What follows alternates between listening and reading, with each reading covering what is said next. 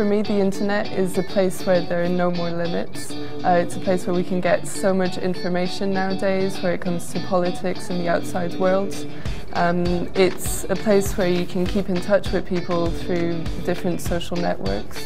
Um, I think that without the internet nowadays, people would be kind of lost and uh, it would take them quite a while to readjust because it's something that's taken over quite a big part of our lives.